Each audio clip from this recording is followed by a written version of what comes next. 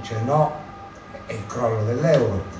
È tutto terrorismo psicologico, però i mercati, sai meglio di me, che sono ipersensibili.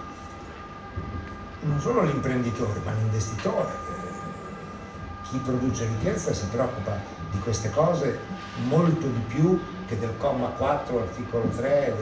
Allora, che cosa accade? Io la vedo così e spero di non sbagliare.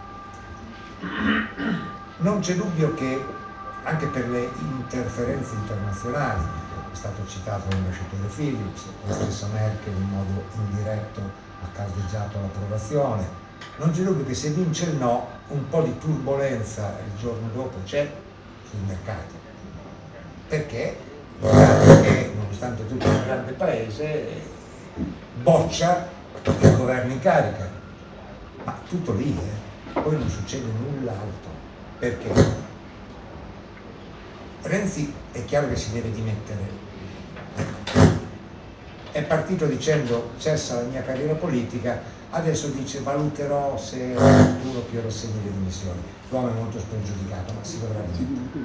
Dopodiché il capo dello Stato, che Costituzione alla mano, verifica se in questo Parlamento c'è o non c'è una maggioranza per mandare avanti la legislatura, nulla osta che lo stesso Renzi abbia di nuovo l'incarico se lo accetta, con un punto, con un punto essenziale che è una legge elettorale che consenta all'Italia di andare a votare magari anche due mesi dopo, tre mesi dopo, non è che deve andare per forza nel 18, si può votare anche a maggio-giugno del 17, andare a votare con ragionevole motivo di pensare che la legge elettorale ti garantisce la governabilità perché il rischio è quello della Spagna, di votare tre volte in un anno.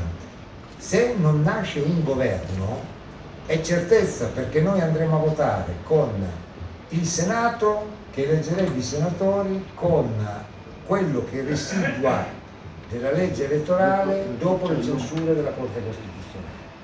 Non ci sarebbe più l'Italicum, perché l'Italicum sapete che entra in vigore solo con la nuova Costituzione, ma andremo a votare con quel che residua del porcellum dopo avremo una maggioranza alla Camera e una maggioranza al Senato. Siccome questo lo sanno tutti, nasce un governo di scopo che fa una legge elettorale e la legge elettorale magari garantisce davvero la governabilità, garantendo però anche la rappresentatività, perché questa è una delle grandi questioni delle democrazie.